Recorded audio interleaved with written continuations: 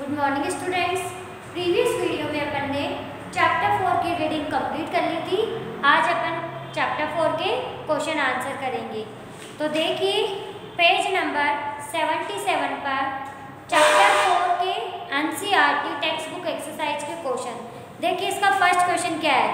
Which of the following can be beaten into thin sheet देखिए thin sheet में अपन किसको बिटन कर सकते हैं मेटल को तो इनमें से कौन सी मेटल है जिंक तो आपको इसमें ऑप्शन ए जिंक पर राइट का टिक लगाना है। सेकंड देखिए which of the statement is correct इसमें से आपको बताना है कि चारों में से कौन सा स्टेटमेंट करेक्ट है। तो इसमें आपको सी वाले option generally metal are ductile इस पर राइट का टिक लगाना है। नेक्स्ट देखिए question number third fill in the blanks आपको फिलअप्स फिल करना है। फ़र्स्ट देखिए थर्ड का ए वाला phosphorus is a blank non metal तो इसमें आएगा रिएक्टिव फास्फोरस एक बहुत ज़्यादा रिएक्टिव नॉन मेटल है। जैसे सोडियम हाई रिएक्टिव मेटल है, वैसे ही phosphorus high reactive non metal है। तो फ़र्स्ट वाले फिलअप्स में आपको फिल करना है रिएक्टिव सेकंड देखिए बी वाला metal are black conductor of heat and black metal किस किस की कंडक्टर होती है? तो फ़र्स्ट वाले में तो लिखना है आपको good metal are good conductor of heat and और हीट के बाद में आपको लिखना है इलेक्ट्रिसिटी तो बी वाले फिलअप्स में आपको पहले गुड फील करना है, फिर सेकंड वाले में आपको इलेक्ट्रिसिटी फील करना है। सी वाला देखिए iron is black reactive than copper iron copper से क्या होता है?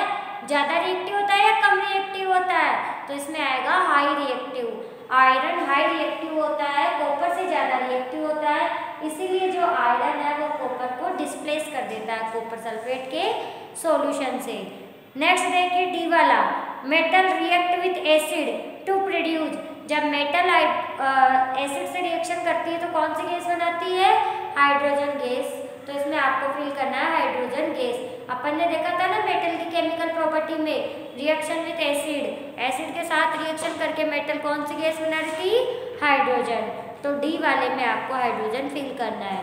नेक्स्ट देखिए question number four true false आपको ट्रू और फॉल्स फील करना है। ए वाला देखिए generally non metal react with acid क्या नॉन मेटल एसिड के साथ रिएक्शन करती है क्या? तो इसमें आएगा फॉल्स जनरली जो नॉन मेटल है, वो तो रिएक्शन करती ही नहीं है एसिड के साथ. नॉन मेटल तो रेयर केस में करती है। किसके साथ? एसिड के साथ. तो इसमें आएगा फॉल्स सेकेंड वाला देखिए बी वाला. Sodium is very reactive metal क्या सोडियम बहुत ज़्यादा रिएक्टिव मेटल है क्या? यस इसीलिए तो इसमें आएगा ट्रू थर्ड देखिए copper displace zinc from zinc sulphate क्या कॉपर जिंक सल्फेट के सॉल्यूशन से जिंक को डिस्प्लेस कर देता है क्या? तो इसमें आएगा फॉल्स कॉपर से ज़्यादा रिएक्टिव तो कौन होता है? जिंक होता है। तो जिंक कर देता है कॉपर को डिस्प्लेस लेकिन कॉपर जिंक को नहीं करता है। नेक्स्ट देखिए coal can be drawn into wire क्या आप कोल से वायर बना सकते हो क्या?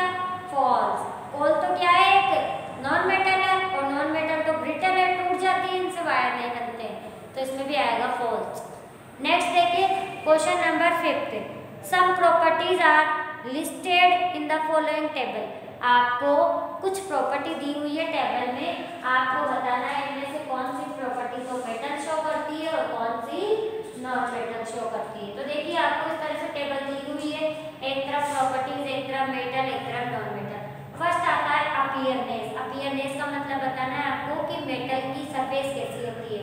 शाइनी होती है डल होती है? तो मेटल की सरफेस तो कैसी होती है शाइनी और नॉन मेटल की कैसी होती है? डल तो अपीयरनेस में मेटल में तो फिल करना है शाइनी नॉन मेटल में फिल करना है डल सेकंड देखिए हार्डनेस देखिए मेटल मेटल तो जनरली बहुत हार्ड होती है और जो जनरली नॉन मेटल है वो क्या होती है? सॉफ्ट होती है. तो मेटल में आपको फिल करना है वेरी हार्ड नॉन मेटल में करना है नॉट वेरी हार्ड थर्ड देखिए मेलाबिलिटी देखिए मेटल है उसमें तो मेलाबल की प्रॉपर्टी पाई जाती है इसीलिए तो उसको पीट करके बिटन करके पतली सी चद्दर बना देते हैं थिन शीट बना देते हैं, जबकि नॉन मेटल नॉन मेलाबल होती है। तो इसमें आपको मेटल में फिल करना है मेलाबल नॉन मेटल में फिल करना है नॉट मेलाबल उसके बाद में देखिए फोर डक्टिलिटी डक्टिलिटी का मतलब वायर बनाना। ठीक है तो मेटल से तो वायर बन जाते हैं नॉन मेटल से नहीं बनते तो मेटल में तो फिल करना है डक्टाइल नॉन मेटल में मेटल तो गुड कंडक्टर होती है और नॉन मेटल की पुअर कंडक्टर होती है तो मेटल में फिल करना है गुड नॉन मेटल में poor next property conduction of electricity देखिए मेटल है वो हीट और इलेक्ट्रिसिटी दोनों की गुड कंडक्टर होती है जबकि जो नॉन मेटल है, वो हीट और इलेक्ट्रिसिटी दोनों की क्या होती है? पुअर कंडक्टर तो मेटल में गुड करना है और नॉन मेटल में पुअर फील करना है. ये अपने एनसीईआरटी टेक्स एक्सरसाइज क्वेश्चन के क्वेश्चन नंबर सिक्स तक हो गए फिफ्थ तक हो गए यहाँ तक का वर्क आपको आपके साइंस के प्रैक्टिकल में करना है. साथ में इन क्वेश्चन को लर्न करना है. नेक्स्ट वीडियो में अपन N C R T folder के क्वेश्चन नंबर सिक्स को करेंगे.